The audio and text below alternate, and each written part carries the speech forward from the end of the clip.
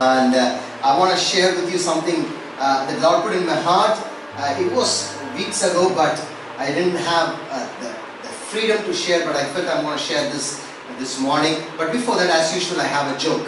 Okay, if you have heard it before, but uh, it's it's it's it's it's uh, you just bear with me.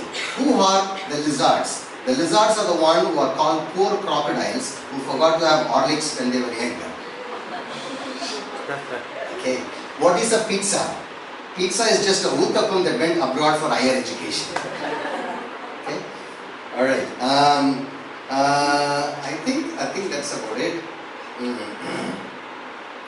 Yeah. So these are the two jokes I thought I would share. But lift up your Bible. Say this after me. Lord Jesus, uh, Lord Jesus, influence me this morning. influence me this morning. Holy Spirit,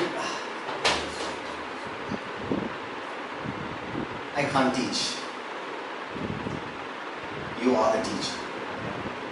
I'm just going to talk, but I pray that you are the teacher, that you will teach us.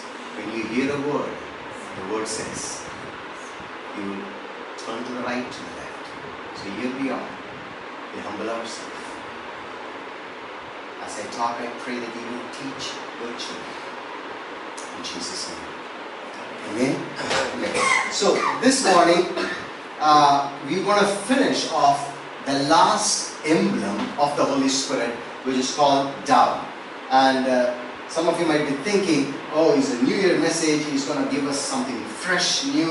And I believe it's fresh, I believe it's new, but I believe also it's timed, arranged in such a way that this message was supposed to be two weeks before, but then uh, my father-in-law spoke, and then uh, we ha- I had to stop and speak a Christmas sermon, and uh, so this was pulled. And I was asking the Lord, Lord, what do I give this morning to your children? And I felt the Lord said, talk about Holy Spirit as dove. And I, I, will, I will go into this uh, topic. It's quite intense, so I want you to take uh, notes. If you are taking notes, it's very good for you. And uh, the Holy Spirit is referred as different things. The Holy Spirit is referred as water, as uh, fire, in, as wind, as rain, and we are talking about Holy Spirit is referring as dove. And there is only one bird God referred. Of course, he referred as eagle in the Old Testament, but when it comes to New Testament, he refers himself as dove. And John chapter 1 verse 32 says, and he, John, this is John gives a testimony. He gives a testimony, he says, I saw spirit come down from heaven as a dove and remained on him. This was John seeing the wonderful amazing stuff. Nobody, everybody got baptized, nobody witnessed that or nobody experienced this, but here John is witnessing something marvelous. And he saw heavens were opened. That's what we read in, in Isaiah. The render your heavens and come down, which basically means tear open. It's a violent act. It's not just like tearing your little gift paper. It's just a violent act that God tears down, which is the similar expression was used in Greek translation when Jesus died. The, the, the way was torn. It was a violent act. So that's what it says. The heavens were open and God came down in the form of dove. And I have noticed uh, many people talk about dove and I have heard many teachings about dove and I have learned many teachings. But I think one beautiful part about dove, dove is a very skittish, skimmish, very uh, timid bird. It's, a, it's, it's not a very gluttonous bird. It's not like crow. That's why Bible never says when the Holy Spirit came down, he didn't form, came down in the form of a crow or in the form of a peacock or a chicken or eagle. It came down because dove represents something so beautiful. And I, I believe we're going to, um, uh, uh, before I get into the part of the message, I want to just give you a little bit about dove.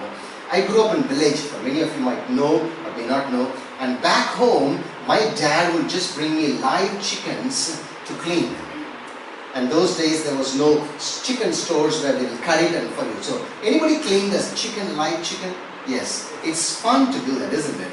Yes. I'm going to explain a little bit, but not in graphics. But I, I don't want you to turn into vegan, and um, then I have to pray for deliverance. But but, but anyway, but you know, you hold the feathers together, the feet together, the feet, and then you cut the throat, all the uh, blood oozes out, and you don't leave it. Otherwise, it's going to become like an Old Testament tabernacle, drink, blood sprinkled everywhere. But then you boil a big pot of water, you dig this, uh, dip this uh, chicken inside, and you take it out, and then all the feathers gone. It comes like out of a spa, you know, waxed completely. And then I cut the butt, take out the intestine. While I'm doing it, my dad will say, "Please be careful." Why?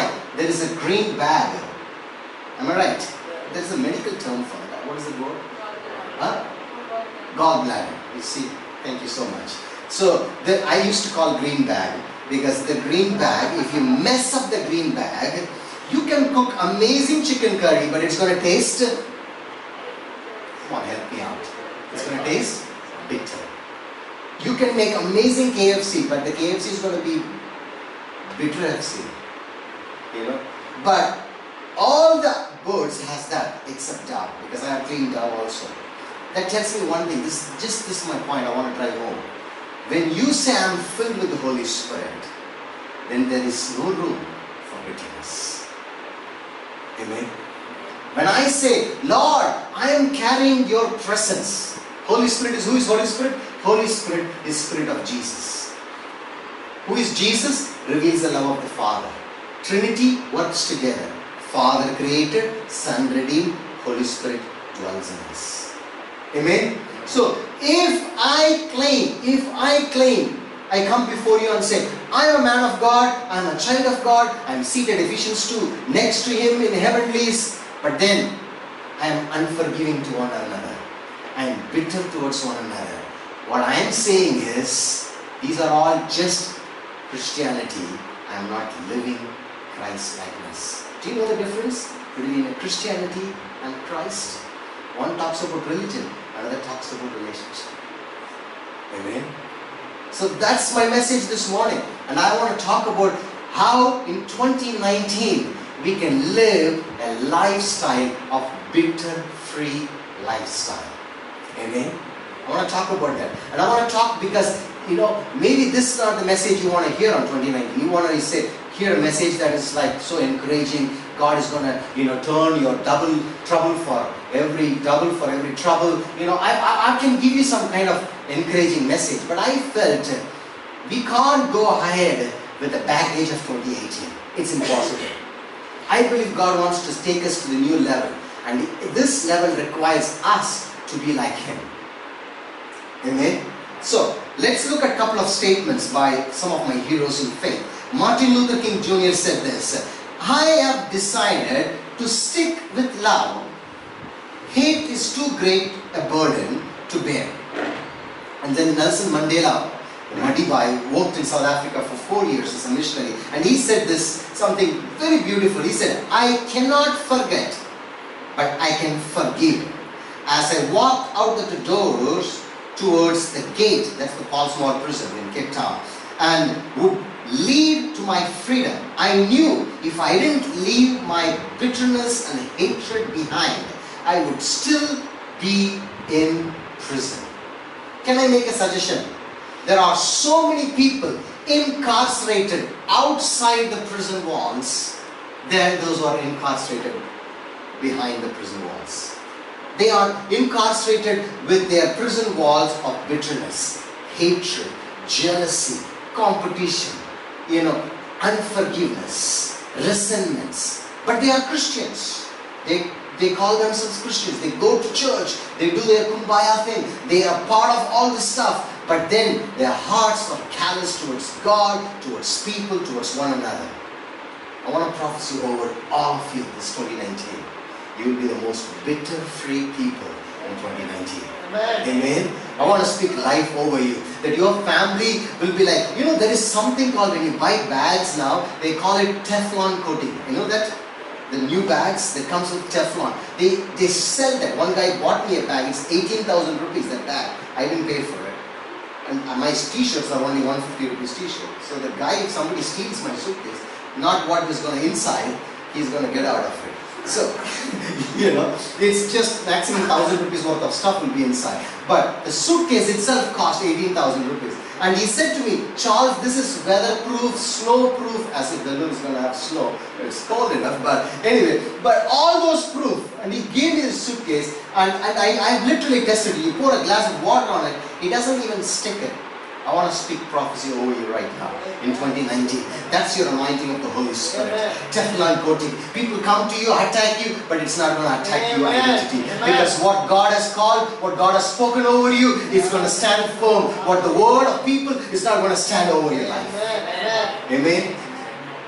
And I'm excited, man. I didn't think I'm going to preach, but anyway. So I want to talk about the four statements. It's very simple because people talk about forgiveness, bitterness, resentment. They say if this is true or not. So this is self-examination. Okay, let's go for it. Do not forgive until the person asks for it. Is it true or false? Come on, church, help me out. False. Number two, when you forgive, it includes minimizing the pain or punishment.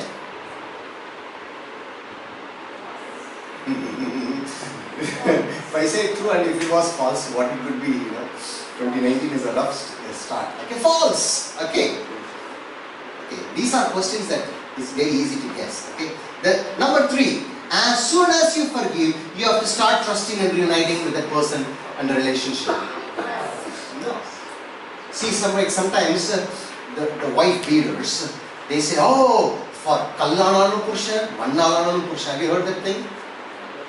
I'm speaking in tongues for some of you. it basically means they say, even if it is a sand, he is my husband, even if it is a rock, he is my husband. But sometimes Tarzans, they have to be in the jungle until they get trained. Hello? Amen? Not even one amen. Amen. So that's the third one. The fourth one, look at this one. This is interesting. True forgiveness means you have forgotten what they did to you. False. We have gone through. You see, forgiveness, this is a beautiful thing. Joyce Meyer says this, and I'm going to quote that. She says, for unforgiveness is like this. Bitterness is like this. I drink the poison and expecting other person to die. I drink it, but I'm expecting other person to die.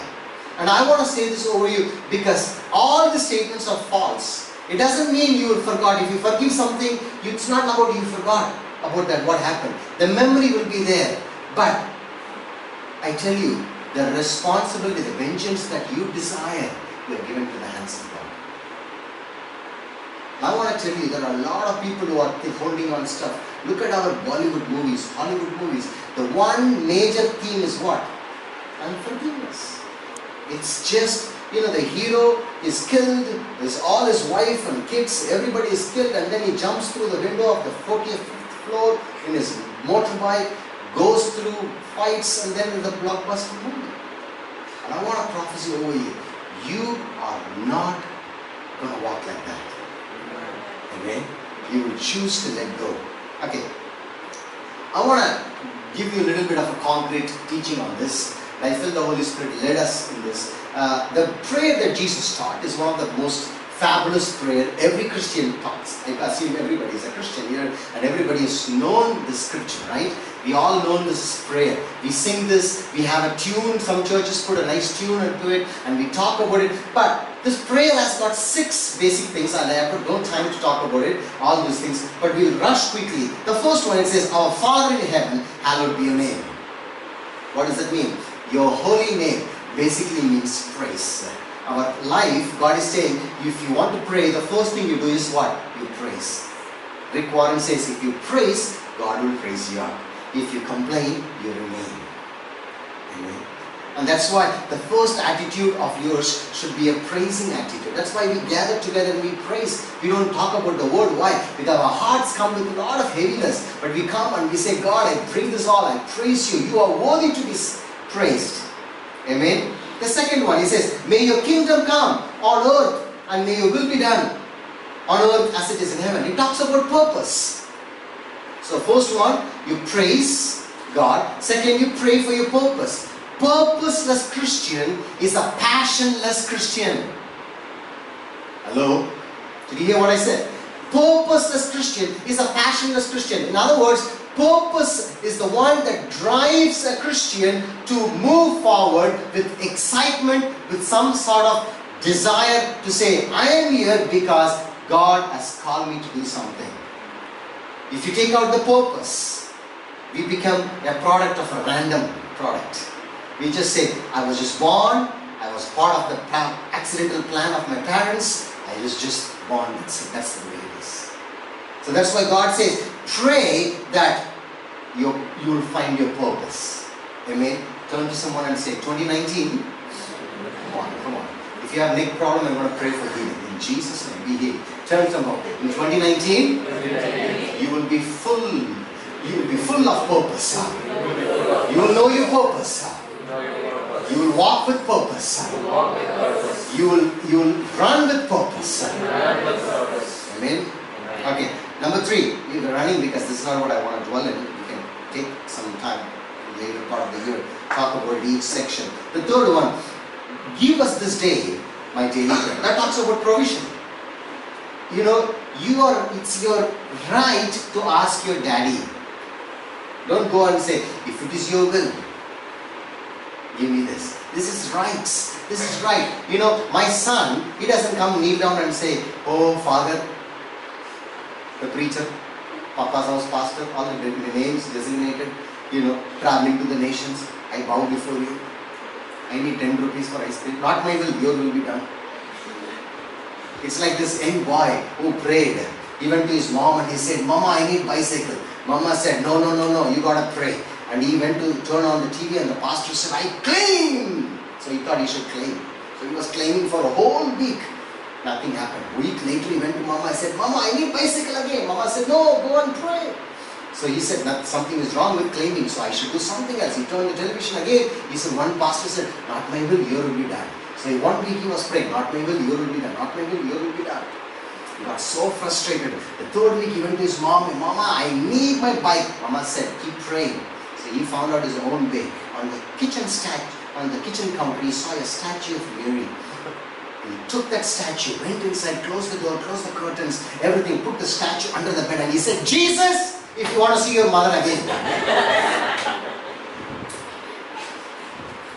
and sometimes we do that, right?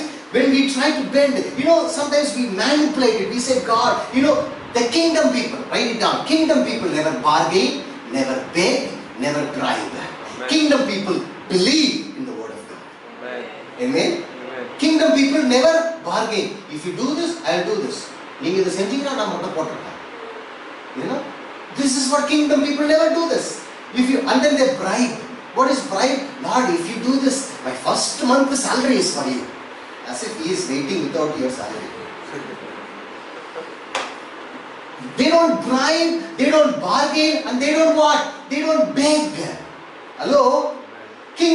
People only believe. Say this after me. I am a kingdom person. I'm a kingdom I'm a kingdom citizen. I'm a kingdom So no more begging, No more begging. no more bargaining, No more bargaining. only believing. Only believing. Amen. Amen. You believe. That's why you gotta dig into the word. Put the word inside. Let the word create in you. Amen. Okay. The fourth one. This is the interesting part. Forgive our sins as we forgive others. You see, there is a click inside. There is a there is a kind of a, a, a condition there, and that's called pardon. Once the way you will be forgiven is the way you will be. Uh, the way you will be forgiven is the way you release forgiveness to others. Amen. Isn't it beautiful? And that's where we want to dwell the rest of the uh, sermon next 15 minutes. And the last one, don't let the to yield us into temptation and rescue us from evil one. It talks about protection. So it's all P, P, P, P, P. So it's easy to remember. Praise, purpose, provision, pardon, and protection. So we're going to take one segment of the prayer called pardon. And we're going to talk about it. Are you okay? Okay. Alright. So, I want to give you some tools. What happens when you don't forgive? Because people say, you know, brother, Jesus is coming soon. I have, I don't need to. You know, it's like, you know, toughness has become heroism right now. You know, the more bitter you are, you are more stronger you are. Actually, it's the more coward you are in the kingdom. Amen. Sometimes people say real men don't cry. Have you heard that thing? I, I have a good news for them. They are not real men. True. That's true. Hello? People say you're a real man, you're a man, man. You know, they, they, they, especially in Tamil culture, they say, you Misa, Andhradani. How can you cry? You know? But Jesus looked at the city of Jerusalem and he said, the one short verse I memorized when I was 18 years old. Jesus wept. Every day I have to get up in the morning and memorize one verse. So this was my memory verse. Jesus wept. And then I wept because my daddy wept me. anyway, so I'll give you some practical tools. This is going to be interesting. Write it down. Why I should, what happens if I don't forgive? It prevents God to forgive me. Matthew 6:14 If you forgive those who sin against you, your Father will forgive you. But if you refuse to forgive, your Father will not forgive. I tell you guys, many times we come to a place we think it has to go with my feeling. Can I tell you? Feeling is nothing to do with choices. Okay? We are trained that way, but uh, let me tell you, God says, I am faithful. When was the last time He was felt faithful to be faithful? He was faithful. Imagine He didn't feel faithful. You and me would not be here today. I don't know about you, but I wouldn't be here. See, sometimes we put so much emphasis on the feelings, but it is actually God is calling us not to be guided by the feelings, but to guide the feelings. Amen. See, that's why when a young girl or a boy, when they are in their teens, when they say, Oh, this is the one, and the parents will say, No, this is not the one. Hello? When my pastor uncle uh, married me and my wife, and he said, The two shall become one. For the first two years, we were fighting about which one. It took us two years to find out. Then I realized it was my wife. Married men know what I'm talking about. so it prevents God to forgive you. That means our forgiveness is directly related. What does that mean? God never had a feeling to let go of offenses that we did towards Him. But if I choose to align how I feel, I wouldn't be sharing what I'm sharing to you right now. Why? Because I would be entitled for justice. My mentor, who is no more, one of my mentors used to say this What you and me deserve in this world is death. It's God's grace gave you life. Many times we say, I don't deserve this. You know what actually we deserve? Sorry, 2019. Happy New Year, by the way. You're like, what the heck, man? It's the first message of 2019. Happy New Year. What we deserve in this. Happy New Year. Amen.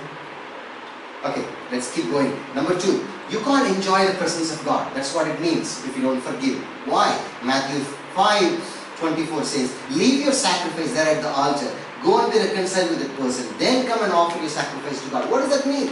It basically means the presence of God is not just having a good time in the church.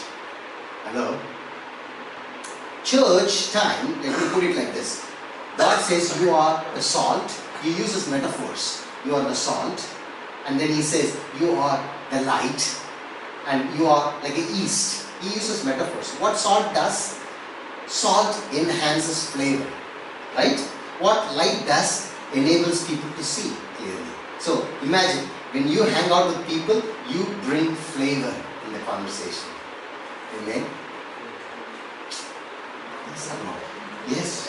What is the light? That means when people are confused, when you are there, they can think clearly. Imagine that. When you are yeast, what is the yeast? I, I, we have no time to talk about yeast, but yeast will never change its property. It changes the property that is around it, surrounded by. That means whenever the yeast goes into the dough, the dough takes over the property of the yeast. Amen. That's what God says. When you are east, so Sunday is like you guys are all east. Okay? Now we are getting more easted. Now we get out of the church, we are becoming that we are spreading the east. So we expect my office, my place of influence is gonna change because I am carrying the east, the kingdom of God. Amen. So that's what it means. When you cannot let go, what happens is you become the east is shut off. That's what the, God says. What good it is if salt lost its saltiness. I don't want 2019 that you will be no salted, that you will be dark, that you will be less easted.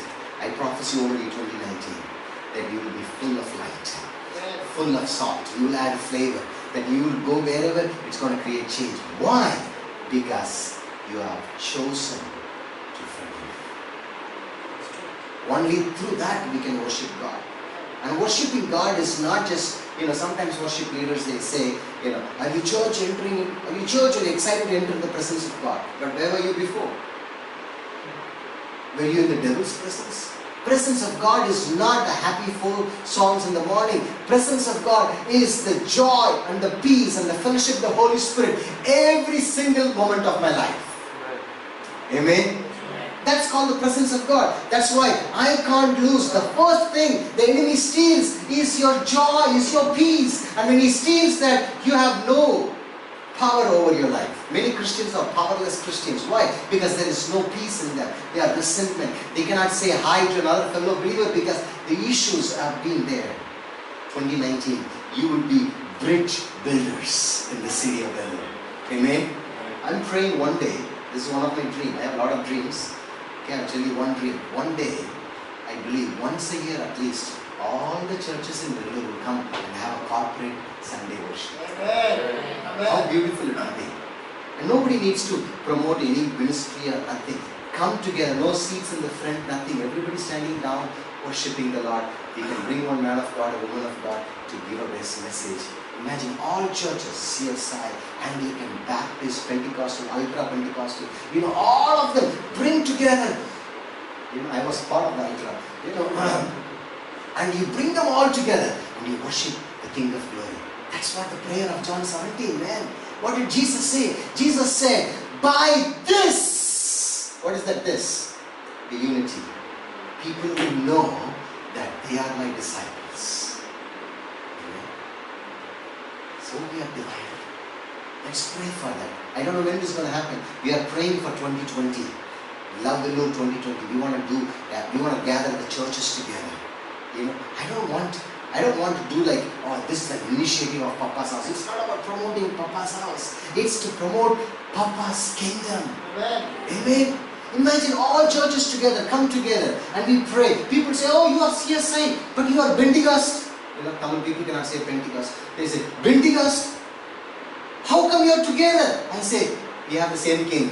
Amen. We have the same king. Imagine that guy's dream, dream about this. Imagine if everybody gathers together in same in the green, you know, there's a green uh, in the front of the fort or take a rent an auditorium or take, take a theater. Now we have good theaters. Imagine one day on one year, one Sunday, all of us gather, mass gathering. Worship the Lord. Just worship. Not introducing Reverend, Dr. Right, Reverend, Left, Reverend, you know, back Reverend, front Reverend. Not anything of those. Not pastor, bishop, nothing. Apostle, chef, sat, nothing. Just King of Glory being exalted. I'm preaching good. Say amen. Amen. I get excited about this. Okay. Number three.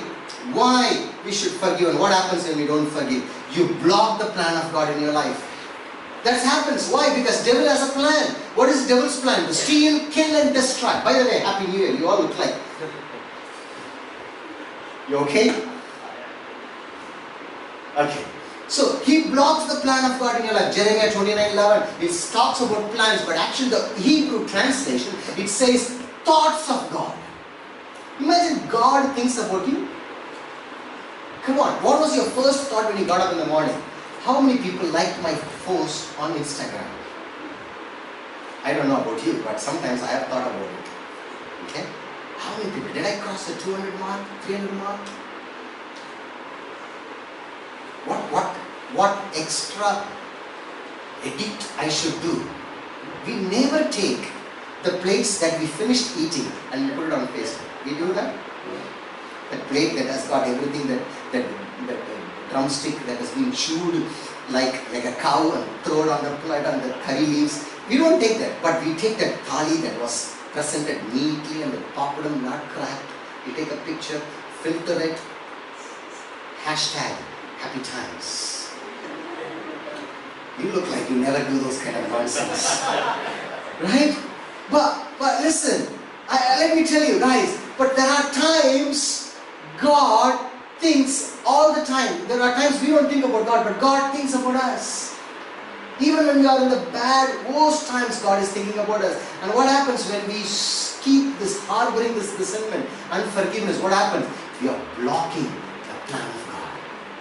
You're blocking the plan of God. It's like taking a pistol and I'm shooting my own feet and I'm saying, I'm limping, Lord, I'm limping, Lord. It's actually me who has shot my own feet. 2019, let go of that. Amen. I, I heard one man of God said, take all the files that you collected, the facts that you have collected, the proof that you have that this person did all, take it all, throw it in the fire. Let God just be your justifier. Amen. That's what we did in 2018. We took all the facts, files, we put it in the fire, and we said, God, you're going to look higher with joy. Amen. Because what's happened 2018 is not going to determine in 2019. Because that's my past, this is my future. God says, I am with you always. Amen. Amen. Come on, number four. What are the benefits? Of forgive. Ah, I think I think I give you three principles. No? Now I'll give you what are the benefits of forgiveness.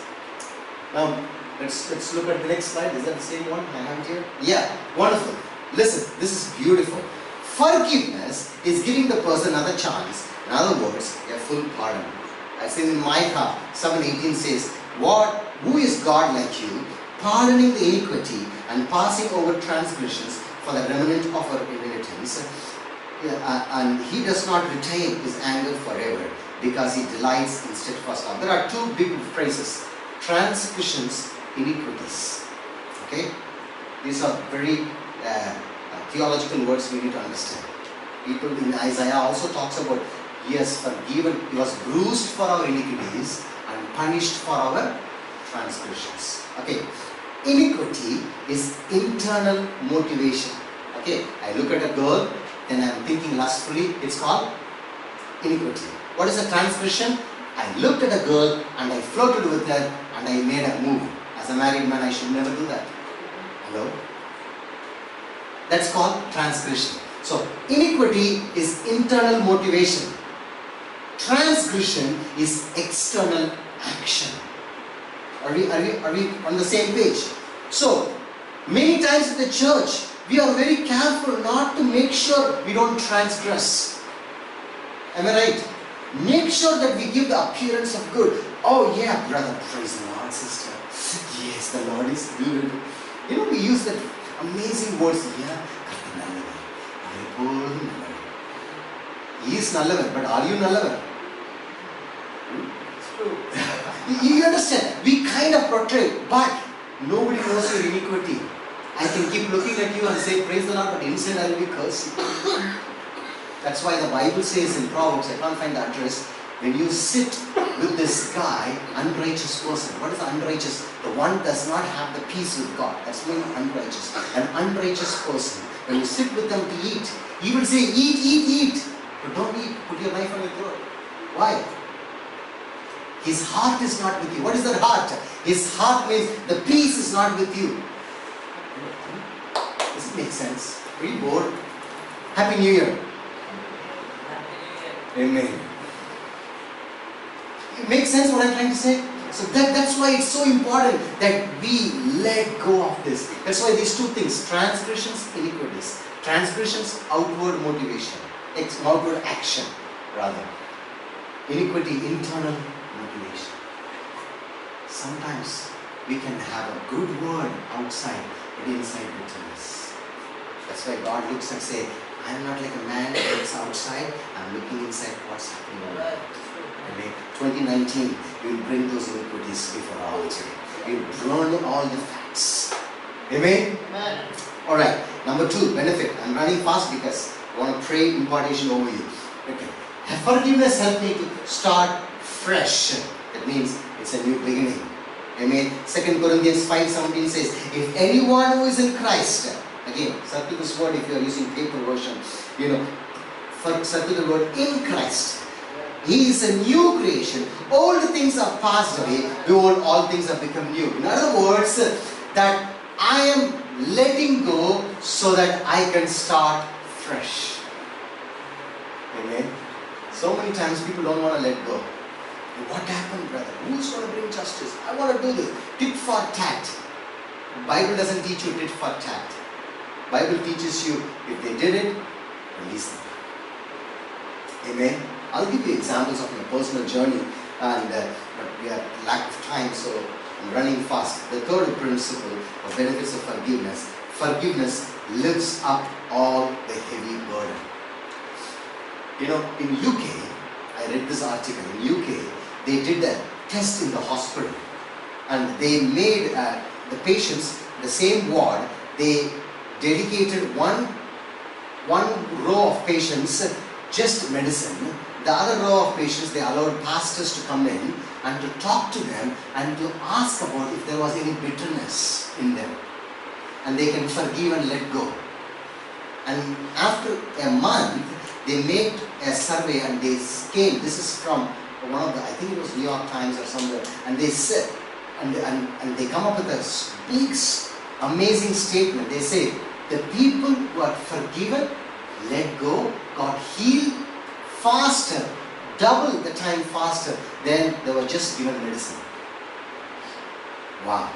And then the author, finally the narrator, he says, I guess prayer works.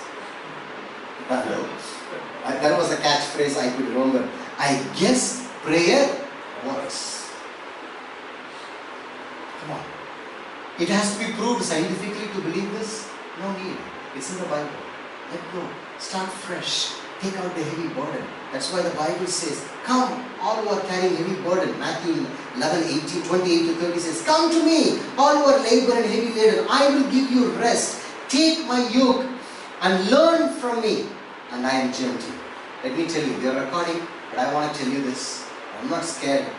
But the last word of a particular dominant religion in Middle East, the guru of that religion said, anybody who don't believe in what we believe, kill them all. That was the last word from the guru of the particular religion in the Middle East. What was the last word of our master? Father, they have no clue what they are doing. Forgive them. You see the difference? That's why one wants to keep on fighting, another wants to look for peace. Look at this, the foundation, guys. The one wants to say, if you don't believe what we believe, annihilate them. But here, our master hanging on the cross, bleeding to death, he says, Papa, forgive those. They have no clue what the they are. This is my contemporary Charles version. Amen. Number four, the benefits of forgiveness. Forgiveness cancels the debts we owe. Colossians 2.14 says, having been cancelled out the certificate of debt consisting of decrees against us, which was hostile to us, he has given us, taken us out of the way, having nailed it to the cross. You see, Paul was writing to a pagan church. He was writing to a uh, Gentile group where it is common for men to give a certificate. That's like triple talak. Just give a certificate. And he is using that word, he's saying, having cancelled that certificate, he was saying, hey, just like your husbands cancel you, God has cancelled your forgiveness, and he in fact take that certificate and he what he did? He nailed it on the cross. Wow. We, we read that and be like, what the heck certificate? We don't have it. We, don't, we remember 10 certificate, 12 certificate, college certificate, you know, but we have no clue about what, what the heck certificate. But this is what it means. I've cancelled the certificate of debt consisting of degrees against us, which was hostile to us. What is hostile? Because sin cannot please God. That's why we are hostile. And He has taken us out of the way, having nailed it on the cross. 2019. God has nailed it on the cross. You need to let go. Amen. You need to let it go. I number five, the benefits of forgiveness. Forgiveness breaks the chain of bitterness. That's why it's good to talk to people. Find somebody. I wrote down, I heard from the other person, man of God, one man of God said, revealing your feeling is the beginning of your healing. Amen. Revealing your feeling is the beginning of your healing. Don't harbor it down. You just say, Lord, I want to break and this chain of forgiveness. And you know what is the number one job of the Holy Spirit? Is to break the chain of bitterness. The moment we broke the chain, you know what the first word comes out from our mouth? Abba, Father. Amen. That's why the Spirit, Romans 8 says, the Spirit enables us to call Abba, Father. Amen. Today you want to be called. No religion calls their followers, demands their followers to call their God, their deity, Abba, Father. But here he is. God is saying, you can call me Daddy God. Amen. I'm your daddy. Why? I cancelled, I took that certificate and I nailed it on the cross. Now you can call me Daddy God. Amen. And I wrote down this. If you're going to do business with God, the currency you're going to use is forgiveness. Amen. That's the way God did business with us. If He took our sins, made a list, and He wants to punish us based on that, I wouldn't be here alive. But God took a way to deal with us. He said, You cannot pay it. I'm going to pay it with my son. Just do what my son did for you. Release the dollars. Amen. How would it be if 2019, a small group of handful of people start believing what God has called us like this? Amen. Living a life free, Teflon coating, bitter free, let go, reveal your feeling, start beginning feeling your healing and it's going to become so beautiful. There is a principle called hurt people hurt. But there is another principle. You know, there's a beautiful principle. It's called heal the people, heal people. Amen. We know about hurt people hurt. I'm hurted, brother. That's why I'm hurting. But I also want to prophecy over you 2019. Happy New Year, by the way. Healing people will heal people. You are a healed people. Put your hand on your heart and say, 2019, though I go through hurt, I'm healed. Wherever I go, to whom I talk, I am bringing healing. As Christ has healed me. Last but not the least, why we forgive? God forgives us. God forgives us. That's it. So simple. You and me are sitting here freely worshiping the Lord, not because your grandmother prayed, not because my, you know, of course those prayers and all, I'm, I'm not discounting it, but the bottom line comes down to the blood of Jesus. Amen? That's it. That's why you and me are free. God has forgiven. Why we forgive? If you don't release them, we end up resembling them. So many people say, I will never be like this person. The girls, they will say, I will never marry a person like my dad. Guess what they do? End up marrying just like that. Why? Because they are harboring bitterness in their hearts. But if you release them, you will not resemble them. Amen? But if you don't release them, you'll end up resembling them. There are three plagues, I'll finish off, I need 12, 12, 30. There are three plagues that plagues the mankind.